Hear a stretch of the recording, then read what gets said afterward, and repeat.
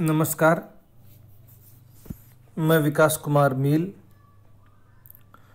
आज का हमारा टॉपिक है तटवर्ती मैदानी प्रदेश। जैसा कि हम लोग पहले पढ़ चुके हैं, भारत की भौतिक प्रदेशों के बारे में। और भारत के भौतिक प्रदेशों को पाँच भागों में विभाजित किया था हम लोगों ने। पहला था उत्तरी पर्वतीय प्रदेश, दूसरा था मध्यवर्ती मैदानी प्रदेश तीसरा प्रायद्वीपीय पठारी प्रदेश, चौथा तटवर्ती मैदानी प्रदेश और पांचवा था द्वीपीय प्रदेश।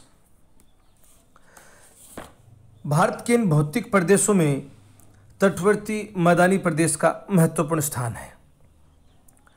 तटवर्ती मैदानी प्रदेश की अगर बात की जाए तो ये गुजरात के सौराष्ट्र से दक्षिण का अंतिम पॉइंट कन्याकुमारी तक और पूर्वी तट की बात की जाए तो ये उड़ीसा से कन्याकुमारी तक इसका विस्तार है।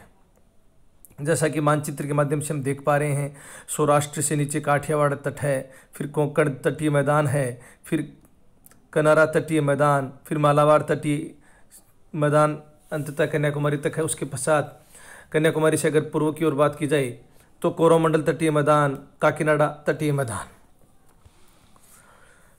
तटवर्ती मैदानों का अगर प्रादेशिक विभाजन किया जाए तो इसे उत्तर से दक्षिण की ओर दो भागों में विभाजित किया जा सकता है। पूर्वी तटवर्ती मैदान को पहला है उसमें काकीनाडा तटीय मैदान और दूसरा है कोरोमंडल तटीय मैदान। काकीनाडा जो तटीय मैदान है, उसकी अगर बात की जाए तो महानदी से कृष्णा नदी तक, जो तटवर्ती मैदान है, उसे काकीनाडा तटीय मैदान कहा जाता है। उड़ीसा उत्तरी आंध्र प्रदेश में ये विस्तृत है। इसके उत्तरी भाग में, सॉरी, इसके उत्तरी भाग को हम उत्तरी सरकार या गोलकुंडा का तट भी कह सकते हैं।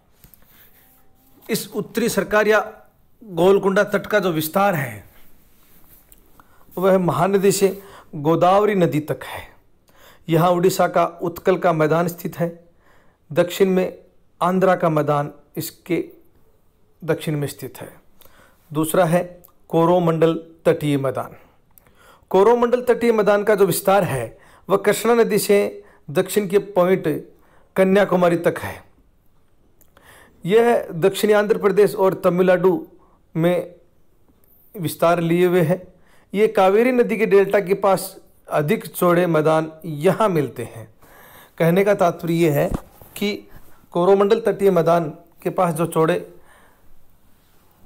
हैं, उनका विस्तार कावेरी नदी के पास, कावेरी नदी के डेल्टा के पास अधिक है।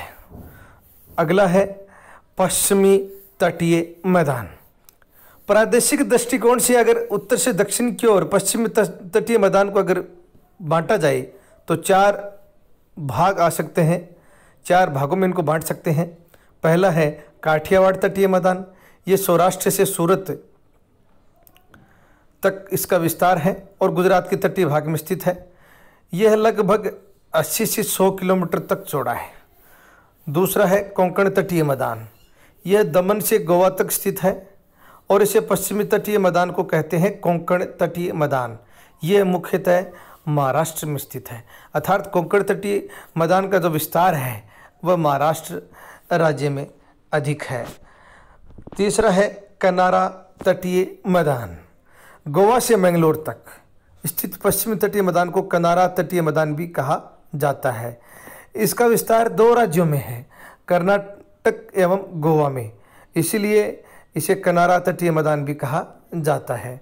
अंततः जो अंतिम है, पश्चिमी तटीय मैदान का उपभाग, मालाबार तटीय मैदान। ये मैंगलोर से कन्याकुमारी, दक्षिणतम पॉइंट जो कन्याकुमारी है, उसके मध्य यह मालाबार तटीय मैदान स्थित है। यह मुख्यतः केरल में स्थित है। कर्नाटक कुछ भाग भी इसमें आता है, लेकिन इसका अधिकांश जो विस्तार है, वह केरल में है। इस प्रकार हमने आज तटीय मैदानों का विस्तार से अध्ययन किया। अगले टॉपिक में एक नए रूपरेखा के साथ मिलते हैं। धन्यवाद।